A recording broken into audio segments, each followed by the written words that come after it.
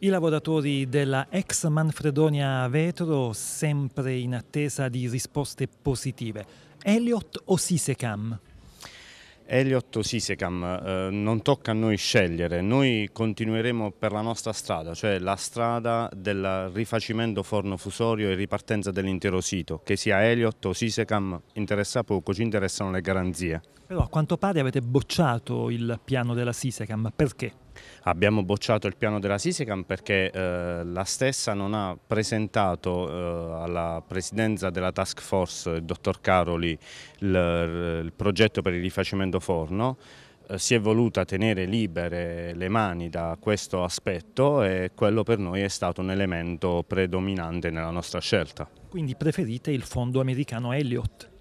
Al momento è rimasto il fondo Elliott, analizzeremo anche la sua proposta a breve quando ci saranno i risvolti giuridici proposti. Un dato di fatto c'è ed è quello che voi siete ancora senza lavoro.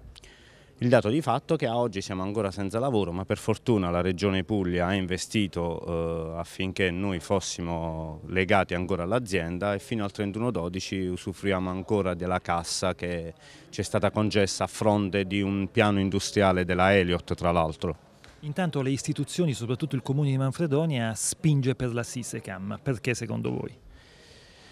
Probabilmente sia Gino Lauriola in questo caso che Angelo Riccardi avranno forse letto loro il programma industriale, programma che a noi non ci è stato consegnato, eh, non, è stato, non è stato consegnato alla Regione Puglia, capiremo le differenze se ci daranno la possibilità di leggerlo il piano industriale, però al momento francamente noi non ci va di fare il tifo, noi siamo, ripeto, per la ripartenza del forno fusorio, garanzie che Sisecam, non ultimo ieri, non ci ha potuto dare fino in fondo.